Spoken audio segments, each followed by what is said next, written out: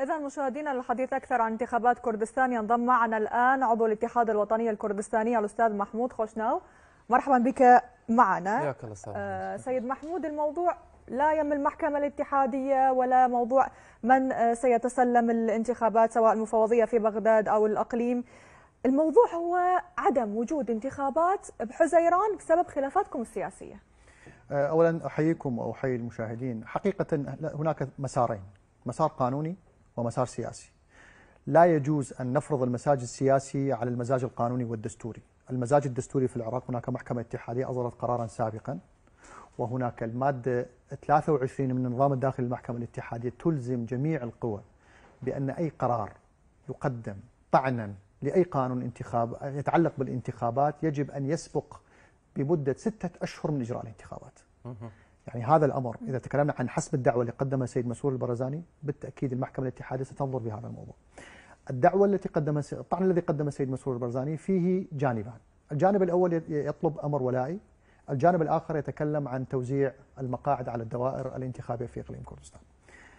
كلاهما من وجهة نظر الدستورية من وجهة نظر القانونية سترد الدعوة. لكن ربما الجانب السياسي لترطيب أجواء السياسية لبعض المعادلات السياسية هي التي ستؤثر على مسار العملية الانتخابية هذا أولا. ثانيا في المادة 19 من قانون رقم 31 لسنة 2019 قانون المفوضية الانتخابات تقول بأن أي طعن يقدم على أي فقرة أو أي إجراء إجراء انتخابي أو نظام انتخابي يجب أن يقدم للهيئة القضائية الموجودة في المفوضية ولا يجب أن يقدم للمحكمة الاتحادية. هذا أيضا خرق آخر. هذا الجانب القانوني والجنب القانوني الذي نحن نعتقد بأن المحكمة الاتحادية ستأخذ ذلك بنظر الاعتبار. نحن كاتحاد وطن كردستان نحترم قرار القضاء العراقي. لا نتهم القضاء العراقي بأي من التسميات وبأي من المسارات الغير اللائقة بالقضاء العراقي. سنمضي باتجاه آه، دعم المؤسسات الدستورية في العراق. القضية السياسية الجانب السياسي. بس قبل شوي لمحت هناك مجاملة فيما يخص هذا القرار. أنا أنا. مجامله اتهام بحد ذاته. ليس للمحكمة الاتحادية. وإنما اتهام لمجلس المفوضين لأن المحكمة الاتحادية لم تطلب من مجلس المفوضين إيقاف العملية الانتخابيه لذلك نحن في الاتحاد الوطني الثاني قدمنا طعنا. المحكمة الاتحادية طلبت من المفوضية إيقاف الإجراءات المتعلقة فقط في المصادقة على الكيانات السياسية على المرشحين والكيانات السياسية. لم تطلب إجراءات المفوضين. أما مجلس المفوضين ذهب أبعد. لذلك عندما نقوم بتقديم طعن ونعتقد أن هناك مسار سياسي طعننا مقدم تجاه مجلس المفوضين. على المجلس المفوضين. لحين حل الخلافات. لا يوجد تأجيل. لا يوجد تأجيل. أولا. الإيقاف الترحيل لفترة. وين المشكلة به ليش الاتحاد رافضه؟ إذا تسمح لي. مو بس الاتحاد. فريق الأحزاب السياسية في الإقليم الاتحاد الوطني حركة جيل الجديد جماعة العدل الكردستانية الاتحاد الإسلامي الكردستاني حركة التغيير الأحزاب الناشئة الكل 22 حزب سياسي وتحالفين يؤيدان جبل جبل جبل تركمانية يؤيدان إجراء الانتخابات في الموعد الدستوري في العاشر من حزيران.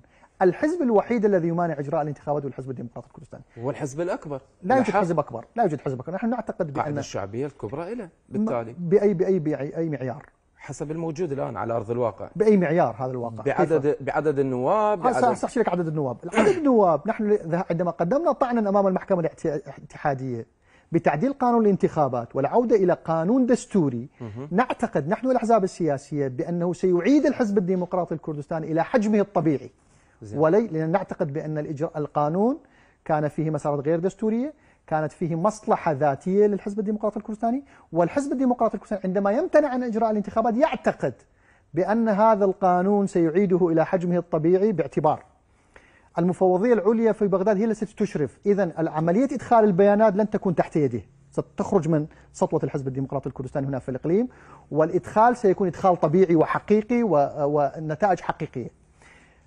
سجل الناخبين. هناك سجل ناخبين في إقليم كردستان لا يتطابق مع سجل الناخبين الاتحادي وهناك فرق كبير. توزيع الدوائر من دائرة واحدة إلى أربع دوائر سيقلل بدائيا قبل الانتخابات. سيفقد الحزب الديمقراطي الكردستاني تسع مقاعد دون إجراء الانتخابات. يعني قبل إجراء الانتخابات بتوزيع من دائرة إلى أربع دوائر سيفقد تسع مقاعد لأن بدستورية. محافظة السليمانية يفترض وفق بيانات الإحصاء الموجودة في وزارة التجارة والتخطيط يجب أن تحصل على 45 مقعد. وأربيل على 37 مقعد ودهوك على 27 مقعد.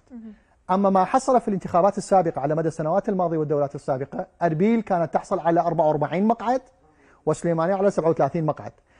ثمان مقاعد من محافظة سليمانيه كانت ترحل إلى أربيل و و و ودهوك. أما الإجراءات الحالية في جدول العمليات الزمني ووفق قرار المحكمة الاتحادية ستعود المقاعد الثمانية لأربيل ودهوك إلى دائرة السليمانيه بتوزيع من دائرة الأربع دوائر. الحزب الديمقراطي الكردستاني إذا تسمح لي يستشعر ويتخوف من نتائج الانتخابات لذلك يتذرع. وحتى هذا القرار الذي حصل الذي صدر من المحكمة الاتحادية وجزئية مجلس المفوضين وتوسعها في إجراءاتها والطعن الذي قدمه الاتحاد امام القضائية بالتأكيد سيحسم طيب. الأمر لصالح الفريق الذي يطالب بالانتخابات. أنت تحدثت قانونيا. تحدثت قانونيا لكن الموضوع سياسي كما ذكرت حضرتك يعني بداية. أه، قلت أن هناك مسار مسار قانوني مسار سياسي. ماكو انتخابات سيد محمود؟ المسار السياسي هكذا يقول. فماذا أمامكم من خيارات؟ حقيقة أه، من السابق لأوانا نتكلم ماكو انتخابات. نحن أيضا حزب سياسي ولدينا أه، تجمعات سياسية معينة في إقليم كردستان ومع الأحزاب السياسية الأخرى. نحن نبحث عن تأسيس لمرحلة جديدة من الحكم في إقليم كردستان. هذه المرحلة ستشهدونه أنتم ونحن أيضا في القريب القادم إن شاء الله. آه هذا طبعا آه ليس لا يأتي من فراغ. نحن ندرك بأن هناك بعض العوامل ربما لا نريد أن ننشر كل الغسيل. لدينا الكثير من التطلعات ولدينا الكثير من التحالفات ولدينا أيضا كثير من التوجهات بعضها دستورية وبعضها قانونية وبعضها سياسية. الانتخابات ستجري. وسيكون بالقانون الذي يقره المحكمة الاتحادية. باسرع وقت ممكن. لا مو أسرع وقت ممكن. نحن نريد في العاشر من حزيران اللي جاي أفهمه بأنه كل هذه الضغوطات بسبب تلويح الديمقراطية المقاطعة. لا الديمقراطي الكردستاني هاي فرصة كبيرة كلش أمام اليكتي اليوم يضغط بكل الوسائل حتى يبعد البارتي. بس إحنا ما جاي نتحدث عن حقيقة هذا الميدان يا حميدان هذا الميدان يا حميدان ماكو بارتي ماكو انتخابات أستاذ محمود من سابع المستحيلات. شئنا أم أبينا؟ هاي الوقائع على الأرض تقول. ليش؟ هسه بالمعادلة السياسية نتحدث. لو إذا إذا الديمقراطي يحاول الديمقراطي يحاول أن يقف بالوجه من المسارات الدستورية والقانونية والأسس الديمقراطية بتمثيل لكن هناك خطوات أخرى. ربما سيكون هناك خطوات للطعن أمام المحكمة الاتحادية بشرعية المؤسسات الدستورية في الإقليم. هذا أمر آخر. لا يجوز أن تبقى حكومة. لأول مرة نسمع رئيس مجلس وزراء يقدم طعنا للمحكمة الاتحادية لكي يبقى في في منصبه ولا يكون هناك انتخابات. هذا ما يجوز بالأسس الديمقراطية. هذا مو موجود بالمسارات الديمقراطية. الساحة ليس للديمقراطي والساحة ليس للاتحاد. هناك أطراف أخرى في اتحاد في بغداد هناك محكمة اتحادية هناك قضاء هناك مسار. ربما في بعض الجزئيات نحن أيضا في الاتحاد الوطني نراعي.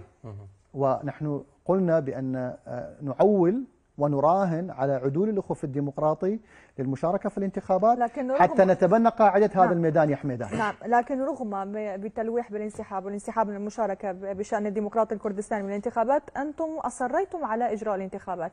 ليس نحن. هاي إرادة الشعب الكردي. الانتخابات هي تمثيل المؤسسات الدستورية لإرادة الشعب. هذه عندما نجري الانتخابات لا نجري للاحزاب السياسية. الانتخابات لكي تعود الشرعية للمؤسسات الدستورية. الحكومة الآن في الإقليم حكومة تصريف أعمال وفق قرار المحكمة الاتحادية. حكومة تصريف أعمال صلاحياتها محددة. أي طعن أمام المحكمة الاتحادية في أي خطوة تقوم بها الحكومة حكومة الإقليم ستقبل سيقبل الطعن أمام المحكمة الاتحادية. لذلك نحن لا نراهن على على إقصاء الديمقراطي على العكس نحن نعتبر الديمقراطي أحد شركاء العملية السياسية وأبناء الوطن ونحن نتوجه باتجاه أن تكون هناك حكومة قوية. لكن هذه الحكومة وفق التسمية كتصريف أعمال هي حكومة ضعيفة. ثانيا هناك تصدع سياسي داخل مجلس الوزراء. هناك اختلاف بين وزراء الاتحاد ورئيس الحكومة. هذا التصدع السياسي أثر على مسارة الحكم في الإقليم. لكي لكي نقطع الطريق والشك باليقين هناك حالة من عدم الاستقرار السياسي في الإقليم. هناك حالة من عدم الاستقرار الاقتصادي في الإقليم. محمود هذا لا يتحقق هذا لا يتحقق سوى بتشكيل حكومة قوية تمثل إرادة الشعب الكردي. حضرتك الآن تمثل اليكتي صح؟ بهذا كلامك وجهة نظرك؟ نعم. لو تمثل الأستاذ محمود بس. لا طبعا اليكتي. تمثل اليكتي أنت الآن جاي تطعن برئاسة الوزراء الحكومة.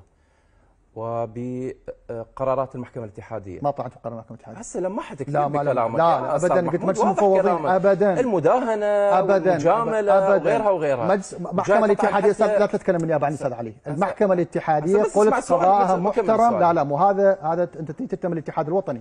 قرار المحكمة الاتحادية قرار محترم ذكرت أكثر من مرة. والمجاملات شنو معناها؟ مجاملة من؟ هسه قبل شوية اللي ذكرتها. أبدا ما ذكرت مجاملة. قلت هناك تطاول من قبل مجلس المفوضين على تنفيذ بعض الأمور هي غير موجودة في قرار المحكمة الاتحادية أنا اللي اريد اوصله هسه بعيد عن هذا الموضوع لا مو تتكلم بصيغه جاي أس- أتحدث تتهم. الاتحاد، وهذا كلام غير هذا صحيح. القوي دليل ضعف مو قوة دلالكم. اتهاماتكم هسه هاي كلها متهمين منو إحنا؟ هاي معناها تشعرون بالخطر من من متهمين من إحنا؟ التأجيل يعني هسه هو اللي اتهام، هو رئيس الوزراء؟ والديمقراطي تصريف و أعمال؟ و و و اللي أقصده هاي معناها أنتم. التأجيل يعني خطر على الاتحاد وحتى بالعكس على وجوده بالعكس خطر على الديمقراطية خطر على المؤسسات الدستورية. نحن نعتقد بأن عدم إجراء الانتخابات سيهدد الكيان الدستوري في إقليم كردستان. سيهدد المؤسسات الدستورية لأن المؤسسات الدستورية في الإقليم كردستان ستفقد الشرعية. لأن الانتخابات في في العراق عندما أجرت الانتخابات المبكرة وغير الانتخابات المبكرة حتى تضفي الشرعية على المؤسسات السياسي الدستورية. أهم أستاذ محمود. نعم؟ الهدوء السياسي اليوم بين الديمقراطي واليكتي أهم من الانتخابات لا ابدا لا يوجد شيء أهم من الانتخابات توصل لصيغه بعد فترة وتجرى الانتخابات بأجواء أستاذ هذا علي لا يوجد أهم من الانتخابات، الانتخابات أحد الأركان الرئيسية لتداول السلمي للسلطة. هو ركن أساسي للتمثيل الشرعي للمواطنين. لا, ت... لا المزاج السياسي لهذا الحزب لكي يبقى في السلطة لا يقارن بإرادة الشعب، إرادة الشعب تطالب بالانتخابات، ومن يحا- يحاول أن يؤجل الانتخابات ويتخوف من النتائج. قلت لك هذا الميدان يا حميدان أكو قانون أكو انتخابات خلينا نمضي، جبت 100 كرسي مبارك عليك. بس. انت تتخوف تخ- تخاف تجيب عشر كراسي لذلك ما تريد تخوض الانتخابات. تريد تديم البقاء في السلطة. ونحن نريد أن نغير آه، آه، ال- ال- ال- ال- الحراك السياسي في الإقليم كردستان يريد أن يغير في مزاج السلطة. مزاج السلطة مو معنى إقصاء الديمقراطي. إحنا نريد أن يكون هناك مشاركة لجميع الشراكة والمشاركة لجميع القوى السياسية حتى على الأقل نبقي الشرعيه للمؤسسات الدستورية. ال- ب- ب- ب- بمختصر الكلام المؤسسات الدستورية في الإقليم ستكون خاضعة للطعون أمام المحكمة الاتحادية في إذا لم تجري الانتخابات. ربما أحد أطراف في بغداد سيقدم طعنا بعدم شرعية مجلس الوزراء في الإقليم. نحن نتخوف على مجلس وزراء الإقليم باعتبار نحن جزء من السلطة في الإقليم. نحن نريد هذا هاي السلطة في الإقليم أستاذ علي ما أتت بالانتخابات. فقط. هذه السلطة أتت بدماء شعب على مدى قرن من الزمن. هذا نضال لشعب ولدماء في حلبشة في الأنفال. لذلك الحفاظ على ذلك ركن أساسي لدى الاتحاد الوطني الكردستاني. من قاد الثورة الكردية بعد 75 هو الاتحاد الوطني الكردستاني. من أسس كيان إقليم كردستان هو الاتحاد الوطني الكردستاني. لذلك رغم الملاحظات الموجودة على أداء السلطة لكن نحن نعتبر الخط الصد الأول لحماية إقليم كردستان. لذلك ما قلنا شيء إحنا؟ إحنا قلنا انتخابات. اللي ما يخاف من الانتخابات خليه يجي خليه يدخل انتخابات فزت مبارك عليك. جبت 100 مقعد مبارك عليك. وضحت الصورة انضم معنا عضو الاتحاد الوطني الكردستاني الأستاذ محمود خوشنا وشكرا لانضمامك شكرا معنا. جزيلا. أهلا وسهلا حياكم الله. شكرا